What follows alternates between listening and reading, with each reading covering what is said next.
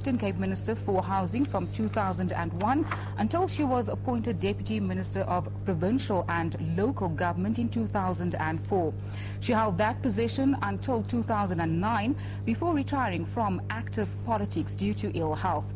She served on the National Executive Committee of the ANC and led the campaign for the 16 days of activism for no violence against women and children.